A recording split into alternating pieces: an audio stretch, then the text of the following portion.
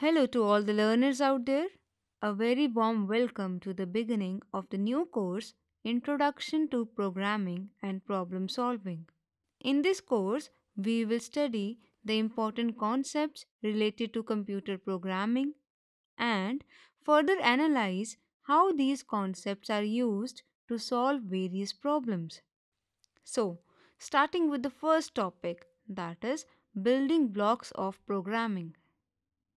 These are algorithms, flowcharts, pseudocode, and programming languages.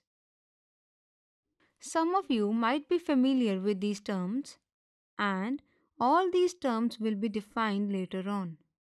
But for now, let's first get a clear picture of what we will be covering for a thorough understanding. It is but obvious that we all face different kinds of problems on the daily basis. But at the same time, we try to come up with different solutions to solve those problems. Normally, they might be sequential type of problems and hence require us to follow some step by step procedure. For example, if I wanted to make a cup of tea, I will have to follow some simple steps to accomplish this task. Like, first of all, I will fill the kettle with cold water. Then I will boil the water on a heat source. Then I will fetch a clean cup and put a tea bag in a cup. Then I will add sugar and milk if required. Then I will pour boiling water in the cup and stir it. Finally, my tea is ready to take. Similarly, when a computer is used to solve the problems, various sequential phases are involved. There are mainly two phases involved in the execution of problems by the computer. These are problem solving phase and second is implementation phase. The problem solving phase basically involves generating an algorithm, procedure, or a set of rules that are required to be followed in calculations or other problem solving operations by a computer. Hence, an algorithm is a process that defines the sequence of operations to find a particular solution to a given problem. This phase involves writing a program using the desired computer programming language according to the needs of the programmer, like writing the programs using Java, C, or C. Hence, a program is a set of instructions that are written in computer programming languages to solve the problems. But the question is how does all this happen? Well, supposing I wanted to say something to someone, or I can say I feel the need to express myself. What can I do? I can simply say it out verbally, or write a letter, email, or a text message to the person. The same case is with algorithms. Hence, algorithms have to be expressed in order to get the desired results and it should be in the same order or pattern in which they are required. But as I have said, that algorithms are required to be expressed to get the desired results. Now, you all might be wondering how can we express the algorithms? Basically, there are various ways in which we can express algorithms. The simplest way of expressing algorithms is by using words sentences, or any other language. Basically, a language is a mode of human communication, either spoken or written, that has evolved naturally in humans through continuous use and repetition without conscious planning or premeditation.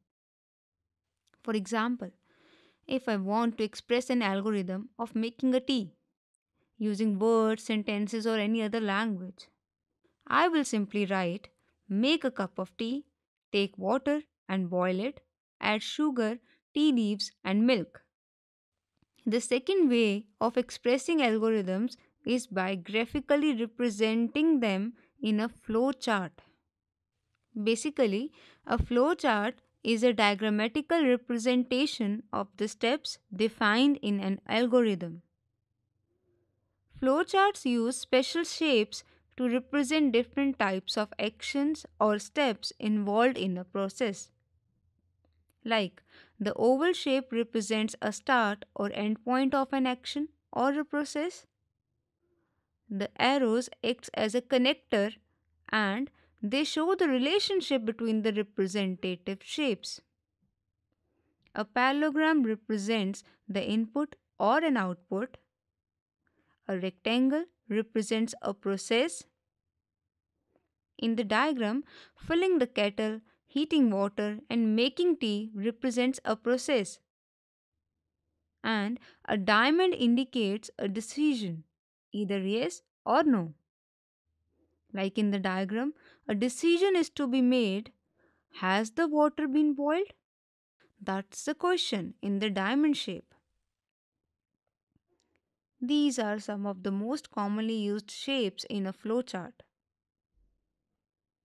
Algorithms can also be represented using pseudocodes. Pseudocode is a simple way of writing programming code in English, and it is not actual programming language.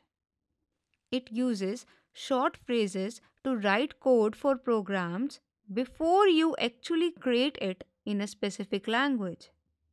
In other words, it specifies the steps required to process a task. Same example in pseudocode can be represented organize everything, plug in kettle, put tea bags into the kettle, add water, wait for boil, and so on. Algorithms can further be represented using the set of instructions called programs. Basically, a program is a set of instructions that performs a particular task. A computer requires programs to function because they contain instructions which specifies the activities to be performed according to the user requirements. So, as you can see, the codes are displayed and they combine together to form a program. Next, coming towards programming. Programming is a process involving a set of instructions that are written in a specific programming language code that are catering to the needs of an application domain. Hence, a programming language can be defined as a formal computer language designed to create programs to control the behavior of a machine or to express the algorithms. This was all about algorithms, flowcharts, pseudocode, and programming language. So, in order to explore more, you can easily go through the links displayed and enjoy. In the next video lecture, we will study programming language in more detail. Thank you.